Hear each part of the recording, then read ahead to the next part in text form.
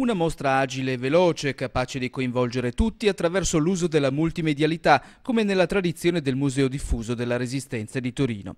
Adolescenti, bambini, cittadini di recente immigrazione, uomini e donne di tutte le età e tutte le provenienze sociali, chiamati a parlare in prima persona e a confrontarsi sui temi dei diritti e della democrazia.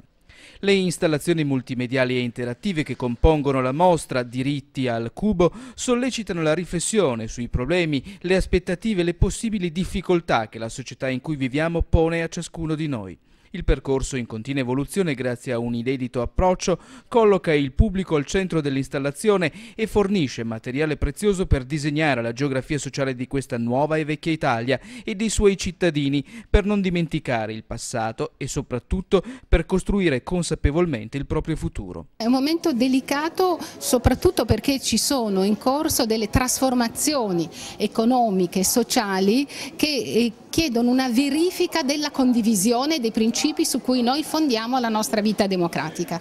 Possiamo dire che tutti la pensiamo allo stesso modo, che le parole significano per tutti le stesse cose? Forse no un po' perché le parole non hanno mai un significato univoco, un po' perché le generazioni si sono allontanate anche nel tipo di apprendimento, nel tipo di eh, interessi, nel modo di conoscere le cose. Allora questa mostra cerca di rispondere a questa sfida perché è veramente una sfida. La mostra fa parte di un progetto più ampio iniziato con l'allestimento permanente del Museo Torino 1938-1948, dalle leggi razziali alla Costituzione e completa la precedente mostra I giovani e la Costituzione, presentata al museo dal 3 aprile al 21 giugno 2009, che ha coinvolto numerosi studenti delle scuole medie inferiori e superiori di tutto il Piemonte.